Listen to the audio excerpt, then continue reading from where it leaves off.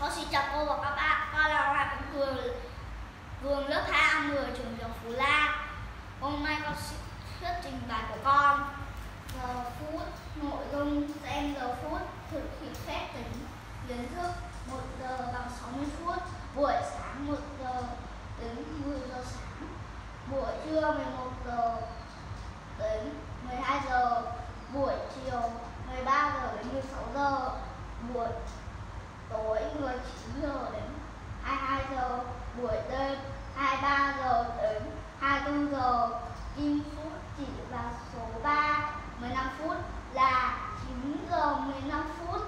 Kim phút chỉ vào số 6 30 phút là 9 giờ 30 được sử dụng để biết giờ đi học, biết giờ học bài, biết lên kế hoạch, luyện tập, vẽ sơ đồ tu duy, thuyết trình bài học luyện tập, bài tập. Con xin chào cô và các bạn. Con chúc cô và các bạn một tuần vui vẻ.